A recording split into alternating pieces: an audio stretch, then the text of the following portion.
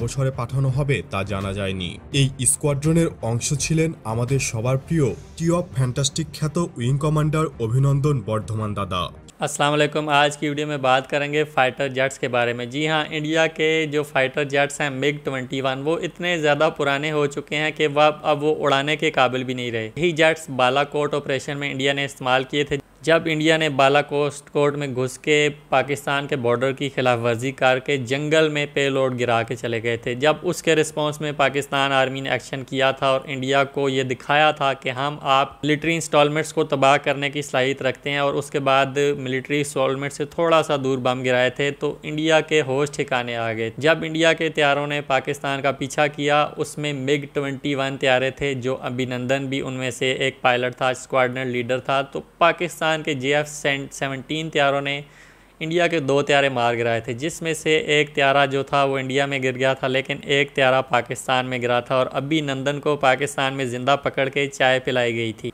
तो ये वही मिग 21 त्यारे हैं जो कि बांग्लादेश ने अपने म्यूज़ियम में रख दिए हैं। बांग्लादेश अब इन त्यारों को यूज़ नहीं करता, लेकिन इंडिया जैसा बड़ा मुल्क जो दावा करता है, मैं बहुत बड़ी डिफेंस पावर हूँ वो अभी तक इन त्यारों का इस्तेमाल कर रहा था। तो अब इंडिया ने भी फैसला किया है कि वो स्लोली स्लोली इन तैयारों को अपनी जो फ़िज़ाइया है उससे निकालेगा। तो आज की वीडियो इसी से रिलेटेड है। मज़ीद इस वीडियो में जानते हैं कि मिग ट्वेंटी वन त्यारों के बारे में इंडिया ने क्या फ़ैसला किया। Let start the video three two one start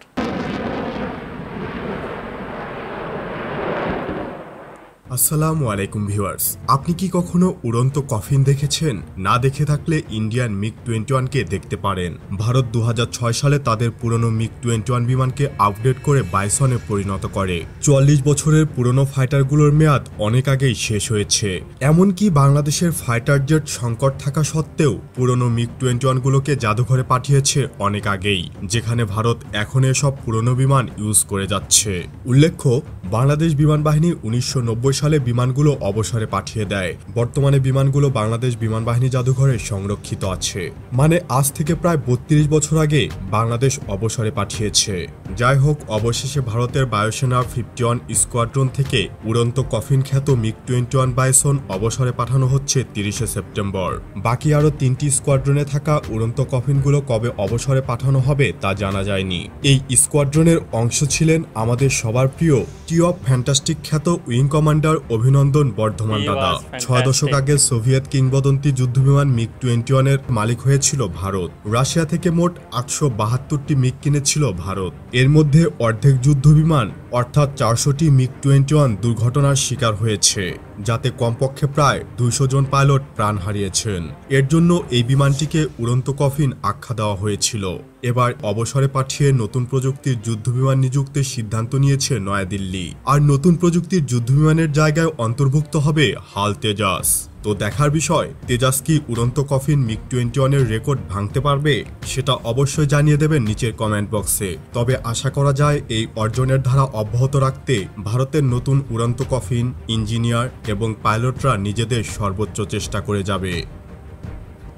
ये था आज का वीडियो। जैसा कि आपने देखा कि इंडिया मिग 21 जो 40 से 50 साल पुराने जो फाइटर जेट्स हैं, उनको अभी भी यूज़ कर रहा है और पाकिस्तान के ख़िलाफ़ भी मिग 21 को इस्तेमाल किया गया, जबकि पाकिस्तान ने चाइना की शराकत से जो पाकिस्तान ने एक त्यारा तैयार किया जे एफ़ सेवनटीन, उसको यूज़ करके भारत के वो धूल चटाई थी। भारत के दो त्यारे मार गिराए थे, जिसमें से अभी नंदन को ज़िंदा पकड़ लिया गया था और उसको चाय पिलाई गई थी, जिस पे बहुत ज़्यादा मीम्स बने थे कि टी वाज फैंटास्टिक। उसके बाद एज अ पीस के तौर पे इंडिया को, अभिनंदन को रिटर्न कर दिया गया था। लेकिन इंडिया की आप बेवकूफ़ी देखें कि उन्होंने अभिनंदन को अवार्ड से नवाजा था, जिस तरह वो पता नहीं पाकिस्तान में कौन सा मार्का मार के आ गए। तो इंडिया के इन त्यारों को देख के और अभिनंदन की जब भी पिक्चर नज़र आती है तो बहुत से लोगों को हँसी आती है और मेरी भी हँसी निकल जाती है कि इंडिया जैसा मुल्क जो दावा करता है कि वो इतनी बड़ी डिफेंस पावर है और वो अभी तक इन त्यारों को यूज़ कर रहा है, मिग ट्वेंटी वन त्यारों को, जो पचास साल पुरानी टेक्नोलॉजी है और जब भी इन त्यारों को उड़ाने की कोशिश की जाती है, इनमें कोई ना कोई फॉल्ट निकल आता है। जबकि दूसरी साइड पे बांग्लादेश ने मिग ट्वेंटी वन म्यूज़ियम में रखे हैं और आप देख, आपने देखा जैसा कि वीडियो में कि लोग मिग ट्वेंटी वन को एंजॉय कर रहे थे, उसके आसपास खड़े थे म्यूज़ियम में। तो भारत अभी तक इन त्यारों को यूज़ कर रहा था। लेकिन अब इतनी बेजती होने के बाद और इतनी सुबकी होने के बाद भारत ने फ़ैसला किया है कि मिग 21 को वो लेस करेगा तेजस फाइटर के साथ। जो भारत ने तेजस फाइटर बनाया, भारत का दावा है कि वो बहुत अच्छा हथियार है। लेकिन मुझे पर्सनली ऐसा लगता है कि भारत की एयरफोर्स और भारत के जो फाइटर जेट्स हैं मेड इन इंडिया वो इस काबिल नहीं है कि वो पाकिस्तान एयरफोर्स का मुकाबला कर सकें और ये हमने सब जंगों में देखा है। अब भारत ने राफ़ेल त्यारे भी ख़रीदे हैं फ्रांस से। वो बहुत ज़्यादा अच्छे तैयार हैं। लेकिन पायलट जो होता है, मशीन को उड़ाने में पायलट का बहुत अहम किरदार अदा होता है।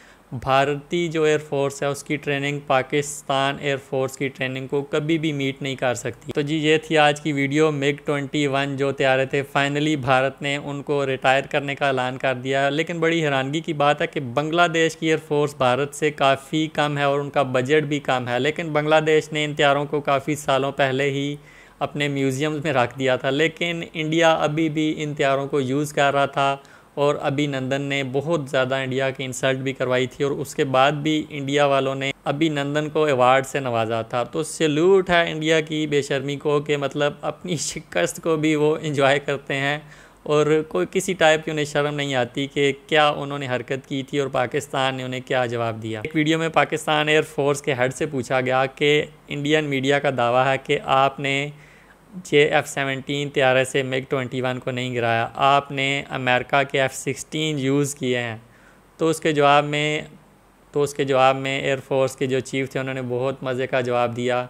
उन्होंने कहा कि अगर जो चांटा है मेरे दाएँ हाथ से पड़े या बाएँ हाथ से, बात तो एक ही है। तो चाहे एफ़ सिक्सटीन के थ्रू हमने मिग ट्वेंटी वन को तबाह किया हो या हमने जे एफ़ सेवनटीन के थ्रू तबाह किया हो, पूरी दुनिया को हमने दिखा दिया था। कि भारत की एयरफोर्स का कच्चा चटा हमने खोल दिया था और अब Bangladesh air force Pakistan air force को स्टडी कर रही है और एफ़ सिक्सटीन त्यारे अपने उसमें ऐड करने जा रही है एयरफोर्स में, जिससे भारत को बहुत ज़्यादा प्रॉब्लम हो रहा है कि पहले पाकिस्तान था और अब बांग्लादेश भी अगर जे एफ़ सिक्सटीन त्यारे ख़रीद लेगा तो भारत के लिए बहुत ज़्यादा मुश्किल हो जाएगा। क्या सोचते हैं भारत के मिग ट्वेंटी वन तैयारों के बारे में? मुझे कमेंट सेक्शन में बताएँ। वीडियो अच्छी लगी लाइक करें चैनल पर नुआ सब्सक्राइब करें बेल आइकन हल्का सा प्रेस करें ताकि नेक्स्ट वीडियोज़ के अपडेट आप तक पहुँच सकें। अल्लाह हाफिज़।